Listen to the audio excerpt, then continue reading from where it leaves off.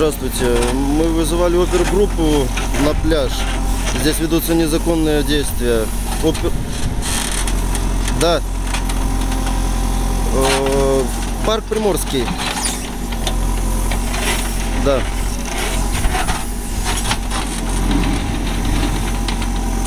Хорошо.